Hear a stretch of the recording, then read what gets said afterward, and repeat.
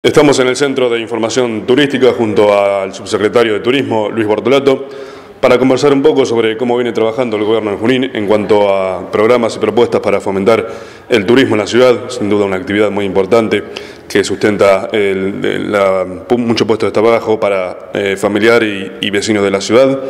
Y también en cuanto a la expectativa que tienen para el próximo fin de semana extra largo que hay en la ciudad y algunas de las actividades que se pueden realizar en la misma.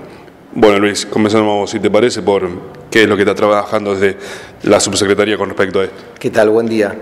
Bueno, venimos realizando un trabajo muy fuerte. Ya desde, desde el inicio de la gestión, el intendente Pablo Petreca nos planteó la importancia de trabajar en generar una oferta múltiple de atractivos y de propuestas, no depender de un solo producto turístico. La pandemia y, en este caso eh, la crisis climática que vive la Argentina y gran parte de Sudamérica, y por supuesto nosotros no estamos ajenos, nos demuestra que estábamos en el camino correcto. Eh, la sequía nos obligó a, poner de manifiesto todo lo que se venía trabajando, ¿no? esto de no tener nuestros dos principales atractivos, que son la pesca eh, durante todo el año, pero principalmente en invierno, eh, que afectó el trabajo de muchísimos juninenses, como también lo que viene a ser el sol y playa en verano o los deportes náuticos. Junín es un destino muy atractivo para la gente que viene a disfrutar de sus embarcaciones o a la práctica de deportes náuticos.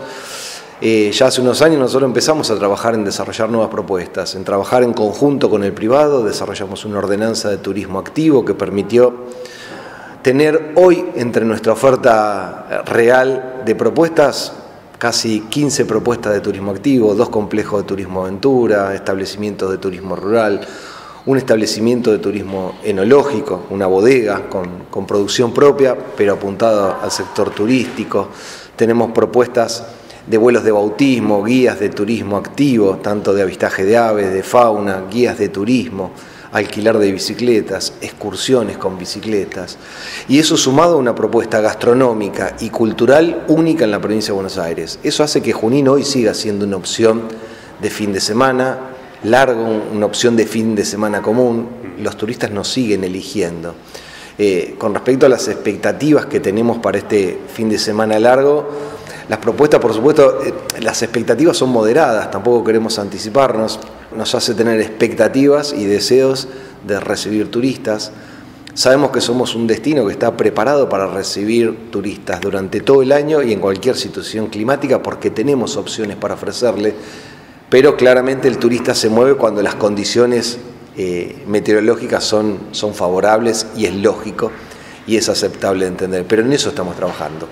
Eh, durante, eh, en agosto del año pasado empezamos con el programa de caravanas turísticas, Estamos recorriendo toda la provincia de Buenos Aires y sur de Santa Fe. Eh, prácticamente hoy hemos recorrido más de 30 localidades, más de 6.500 kilómetros de recorrido.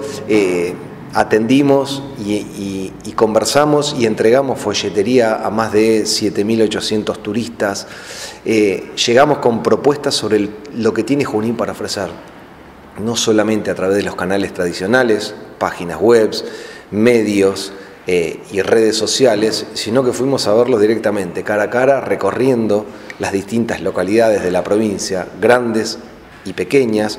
Hicimos convenio con cada uno de los municipios, hicimos juegos, entregamos premios, pero llegamos en primera persona a cada uno de los bonaerenses y, los habitantes del sur de Santa Fe llevándoles nuestra propuesta. Hemos tenido muy buena receptividad y lo vemos en cada uno de los fines de semana que recibimos turistas de lugares que normalmente no venían, del resto de la provincia, nuestros lugares tradicionales son el área metropolitana de Buenos Aires, la región de Junín, donde preponderantemente llegan nuestros turistas.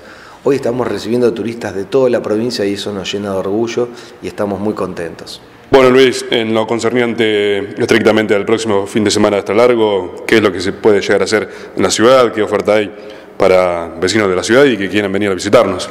Bueno, va a haber cuatro días intensos con una multiplicidad de ofertas de cosas para hacer, como hoy lo comentaba.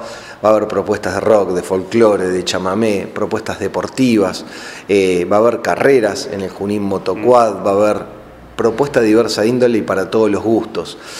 Eh, propuestas de teatro, propuestas de cine. Realmente eh, los invito a todos a que entren a la página del gobierno de Junín o bien a la página de turismo que es junin.tour.ar.